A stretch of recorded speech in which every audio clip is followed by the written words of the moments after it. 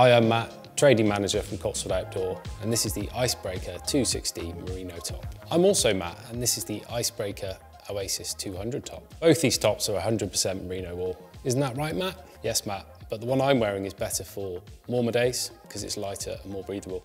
But this one's better for winter activities, such as skiing and snowshoeing. But this one could also work as part of a layering system in those colder conditions. I suppose you're right, Matt. Mine also has low profile seams to prevent chafing. Does yours? Of course it does. And how about natural odour resistant properties? We're talking icebreaker, is what they do.